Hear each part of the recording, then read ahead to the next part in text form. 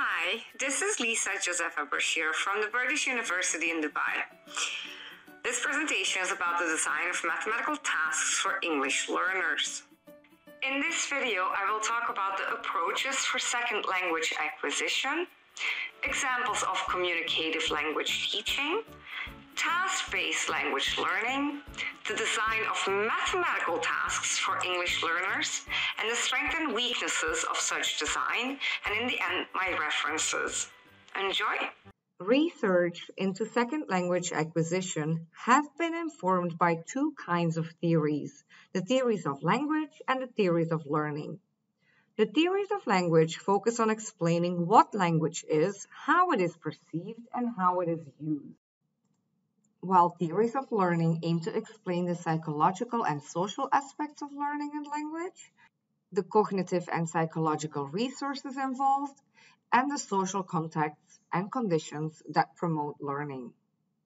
Chomsky's 1959 cognitive view of language and language learning was a pivotal point in the area of linguistics and psycholinguistics, by seeing language as a unique and innate capacity of the human mind. However, a paramount advancement in approaches to second language teaching developed from the studies in sociolinguistics and the upwing of the concepts of communicative competence, which formed the development of the communicative language teaching. This is an approach to teaching language that focuses on the communicative aspects of language and sees language learning as a natural instead of an analytical acquisition with the language. According to Littlewood in 1981, the goal of learning is not to learn a language, however, to learn how to communicate. Communicative language teaching is a popular approach principled in the language teaching as communication and it includes a variety of teaching methods and approaches such as task-based language teaching, content language integrated learning, and the sociocultural approach to language teaching.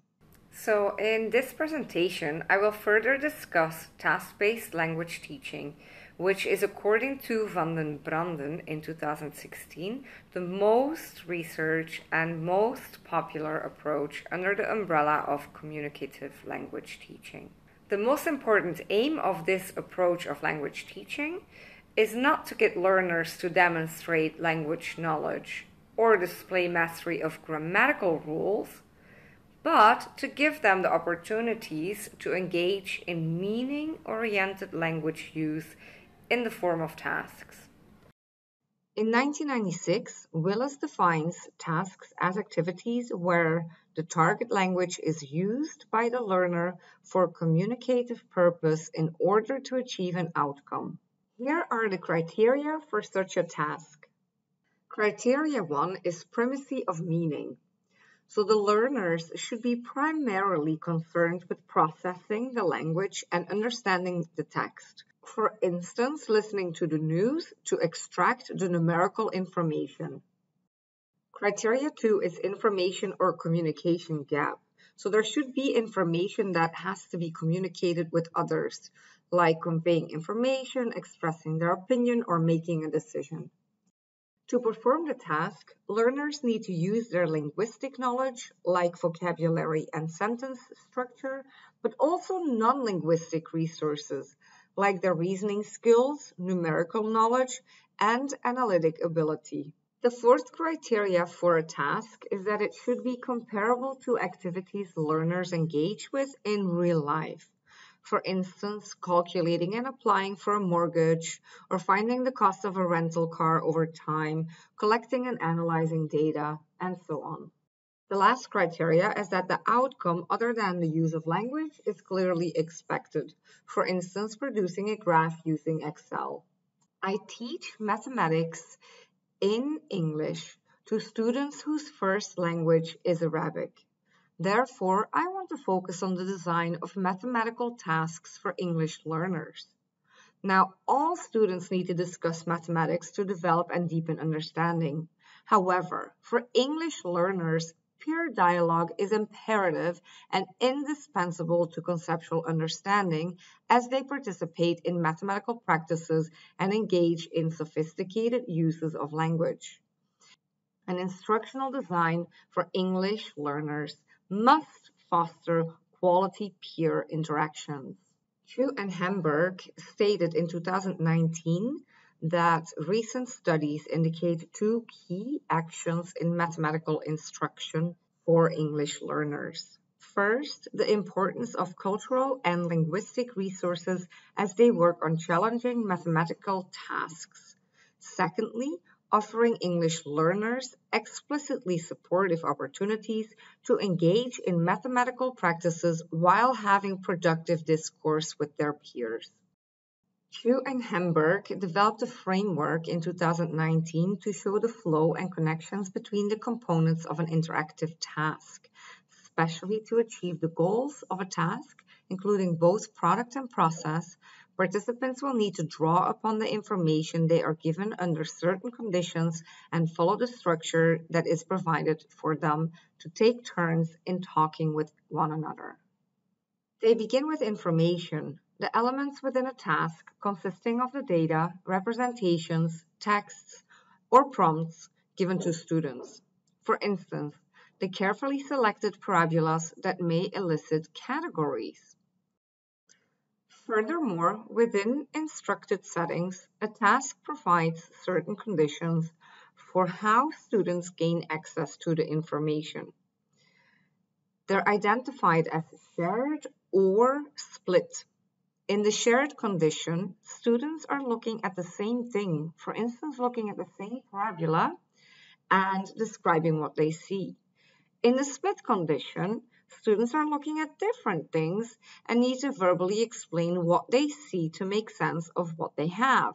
For instance, looking at two different or three different or four different parabolas and then trying to decide how they are similar or how they are different. To reach its desired task goals, a task may include a well-defined structure or series of steps that students undertake as they complete a task together. Finally, central to any task are its goals, meaning what English learners will learn by completing that task. For example, the goal of a parabola sorting task is to understand which features of parabolas, such as graphs, matter. To attain this goal, according to one of the three curricula Chu and Hamburg in 2019 studied, students will need to create a product, meaning a set of labels and classifying criteria, while engaging in a process, meaning looking at and describing graphical features.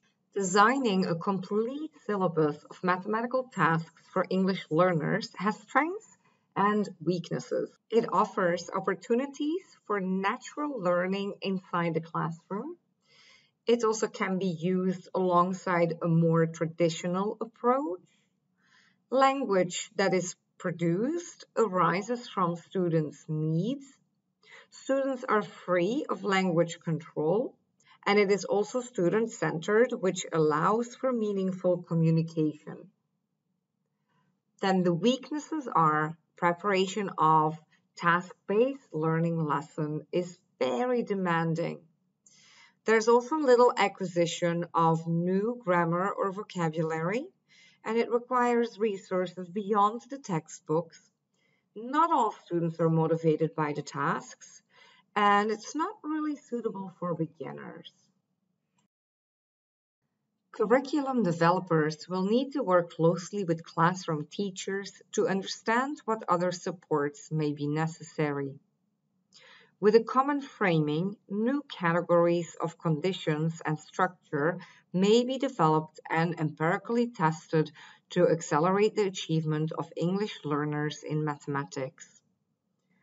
Task-based language teaching, in particular, has shown success in developing learners' transactional competence. Keeping theories of second language acquisition in mind educators can critically examine tasks and design considerations to expand communicative opportunities in mathematics for English learners. Here are the references for this presentation on design of mathematical tasks for English learners. And uh, I look forward to your feedback and thank you for your time.